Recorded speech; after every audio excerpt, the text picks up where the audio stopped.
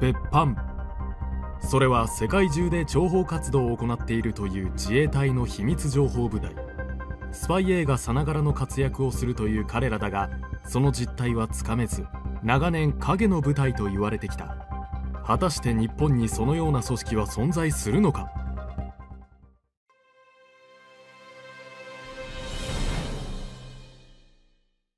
日本には総理大臣や防衛大臣でさえその存在を知らない非公然な秘密情報部隊があるという。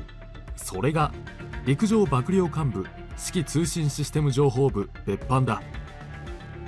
彼らは陸上自衛隊の中から選び抜かれた超エリート集団で冷戦時代から首相や防衛大臣に知らせずに独断で国内外に拠点を作って情報収集活動を行ってきたという。しかしもし本当にそのような秘密情報部隊が存在しているのならそれは自衛隊最高指揮官の首相や防衛省の監督を受けずに自衛隊が活動していることになる。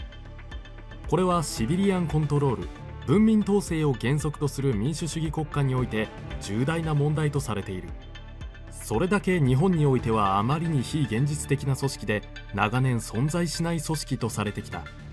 事実政府は過去にも現在にもそのような組織は自衛隊に存在していない。と一貫して否定し続けている。ではなぜこのような秘密情報部隊が世間で噂されるようになったのか。それは今から48年前に起きたある出来事が発端だった。1975年2月。共産党衆議院議員の松本善明宅に一通の手紙が届いた。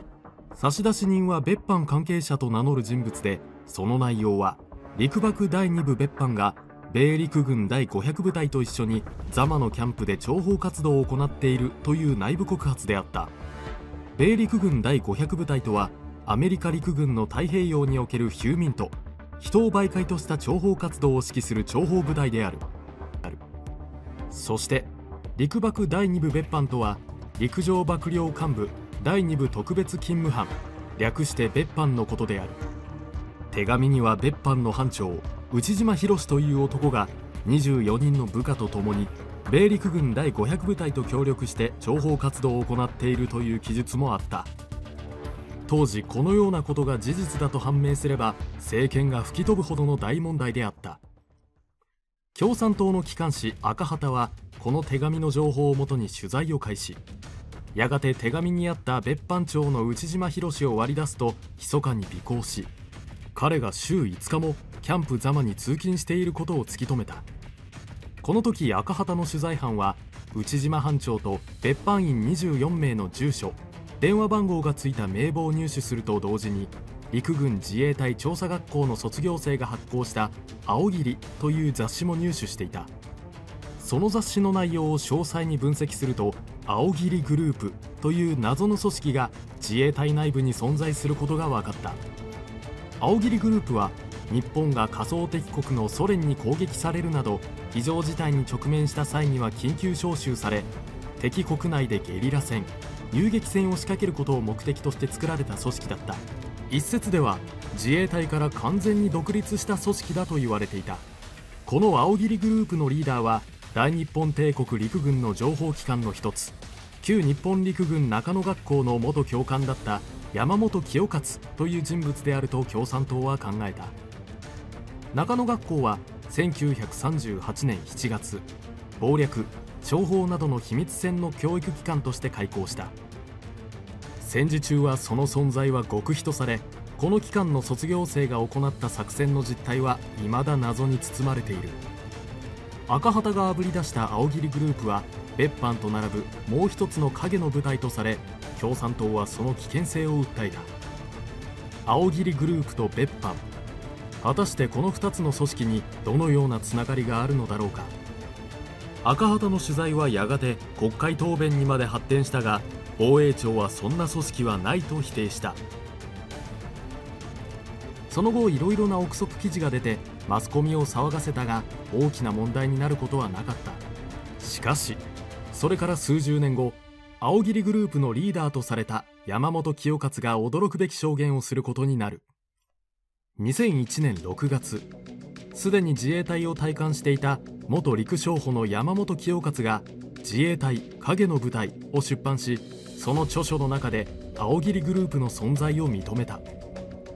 長年隠され続けた非公然組織の実態が初めて関係者の口から語られたのだ。山本清勝とは一体何者なのか。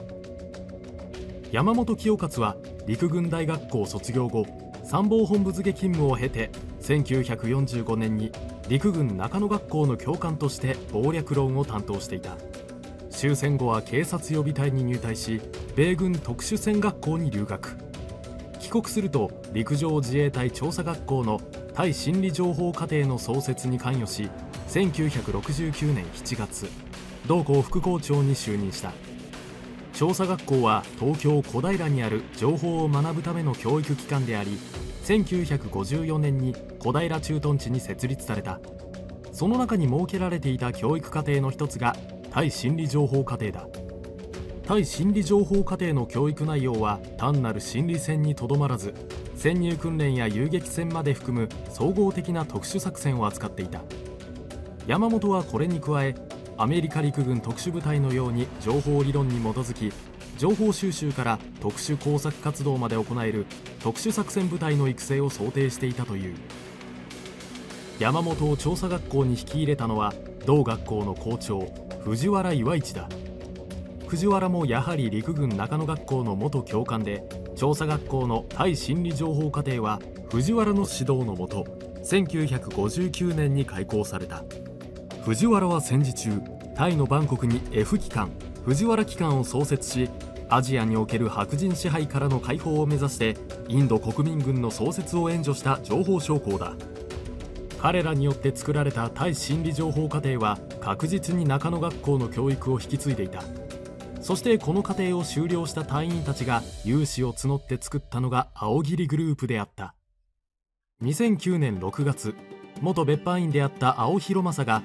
自衛隊秘密諜報機関青桐の戦士と呼ばれてを出版し自身が別班員であったことを公表した。青は著書の中で長年秘密のベールに包まれてきた別班員の実態を初めて詳細に語った。青広正は1930年富山県に生まれ中央大学卒業後1955年に久留米の陸軍自衛隊幹部候補生学校に入学。レンジャー部隊研究課程を修了後習志野の第一空挺団に勤務した。空挺団に勤務して数年が経ったある日青は団長から呼び出され東京小平にある陸上自衛隊調査学校対心理情報課程へ入校を命じられる。この課程には青の他に3佐から2位まで12名がおり彼らは青と同じく各部隊から選び抜かれた優秀な隊員たちだった。青たちを指導したのが旧日本陸軍中野学校出身の諜報専門教官3名だった。青は教官から秘密諜報員としての精神体力の強化心理戦防護潜入訓練暗号文の作成航空写真判読語学そして対ゲリラ戦への対応方法を徹底的に教え込まれた。この教育課程は頭がおかしくなるものが出るほど想像を絶する厳しい訓練で連日休むことなく続いた。寝る時間を切り詰めないととてもこなしきれない量の課題が出され他の学生たちが疲弊していく中青はこの厳しい訓練をこなしていった。そして9ヶ月後対心理情報課程の教育は終了し青は他の学生たちと共に卒業記念として校舎の庭に青桐を植樹した。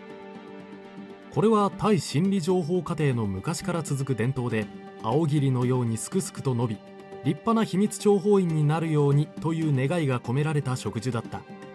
青桐グループという名の由来もここにある。彼ら卒業生の中から有事の際には命がけで日本を守る影の部隊青桐グループが結成されたのだ。1963年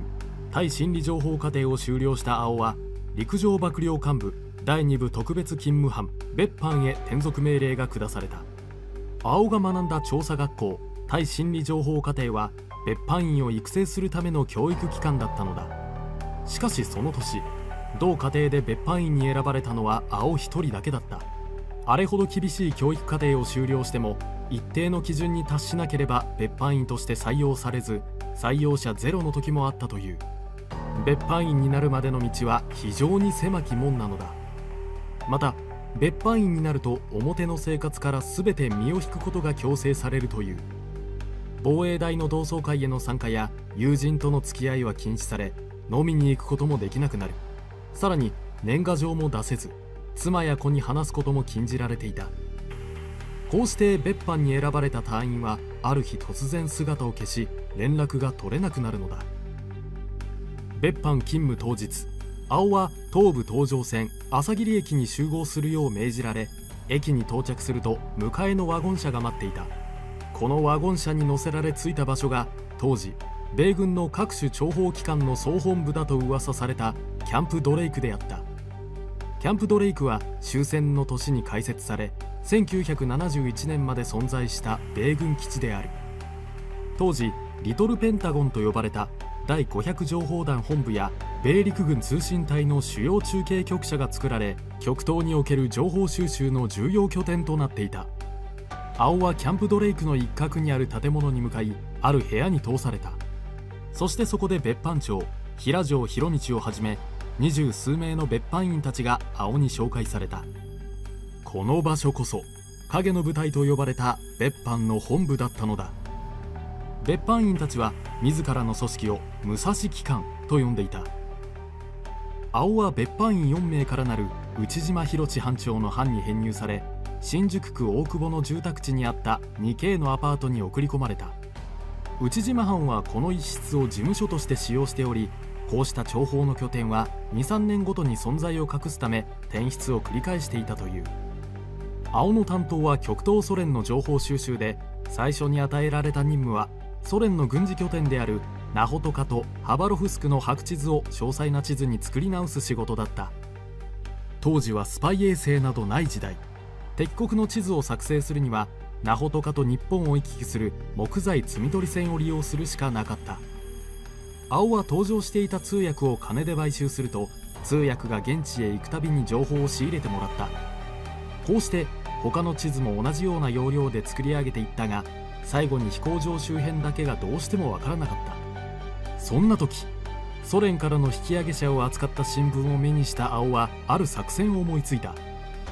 第二次世界大戦時ソ連に投降した日本兵は戦後強制労働に従事させられ多数の死者が出た。彼らの魂を弔うためにハバロフスク市内に日本人墓地が作られ近親者による墓参りが頻繁に行われていた。この参拝団には必ず通訳がついていく。この通訳をうまく使い情報を取らせればよいのだ。そう考えた青はその通訳の住所を突き止め自宅を訪ねた。ドアを叩くと中から現れたのは年配の女性。おそらく通訳の母親だろう。女性は面識などまるでない青をいぶかしそうな目つきで見た。突然すみません。ここのお嬢様が今度通訳としてハバロフスクまで行くと聞いたものでお邪魔した次第です。実は私の父もシベリア抑留の犠牲となりあの地で亡くなっているのです。私はある事情で墓参りには行けませんが代わりにお嬢さんに父の墓に手を合わせてほしいのです。そしてできれば墓だけでなくその周りの様子も写真に収めてきてくれませんか。父がどんな風景の中で眠っているのか見てみたいのです。もちろんこれは青の作り話だ。事前の調査で墓地は山の上にあると分かっており飛行場はその山の麓にあったのだ。黙って話を聞いていた母親はその場に泣き崩れ必ず娘に言いつけますからと約束したという。結果この作戦は大成功だった。通訳が撮った写真には飛行場がはっきりと写っていたのだ。このように実際の諜報活動はドラマやスパイ映画のような派手さはなかっ共産権を行き来する会社や団体の中からエージェントを見つけ出して必要があれば金で買収するやり方が主流だった。青は諜報員として順調に任務を遂行していくがやがてある不満を抱くようになる。それは死に物狂いで集めた情報を米国側がすぐに知るということだ。別班員が知り得た情報は上に上げるのと同時に米軍にも提供しなければならない。青はこれに納得できず真の諜報機関は自衛隊独自の組織でなくてはならない。今こそ自衛隊の独自の機関を作るべきだ。と内島班長に訴えた。また青は飲酒した時に米軍のために資料を提出することに抵抗がある。と口走り危険であるとの報告も別班長の平城へ上がっていた。平城はできるだけ米軍とは良好な協力関係を築きたいと考える人物だった。なぜなら自衛隊では到底入手できない共産圏の情報を米軍が共有してくれるからだ。そのため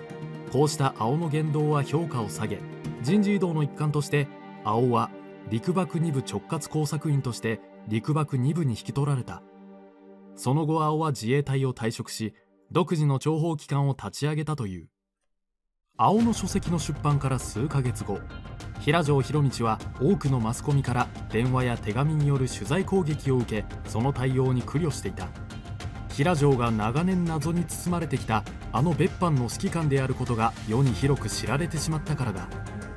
平城はとにかくあの時代に知ったことは全部忘れるとして全て墓場まで持っていくつもりでいた。しかし今や青をはじめ元別班関係者たちによる暴露が相次ぎ誤った情報まで出始めている。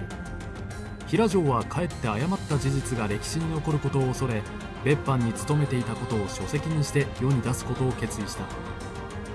2010年9月平城は日米秘密情報機関影の軍隊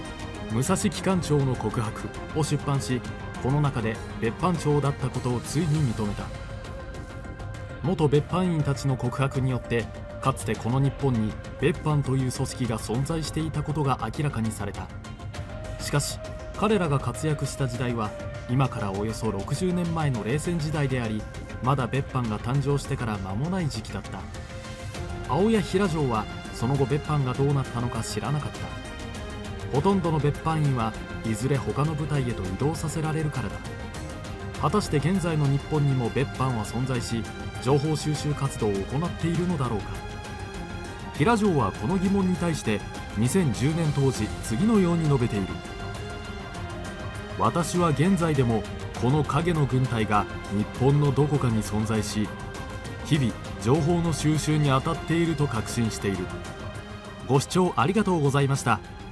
別班についてさらに詳しく知りたい方のためにメンバーシップ限定動画をご用意しております。続きはそちらでご覧ください。別班はなぜ作られたのか。別班を動かしているのは一体誰なのか。平城博光の告白はこの謎を明らかにしやがて別班を裏で操る某国の存在が浮上してくる。そして自衛隊最大のタブーにある記者が挑む。果たして現在の日本に別班は存在するのか。ぜひご覧ください。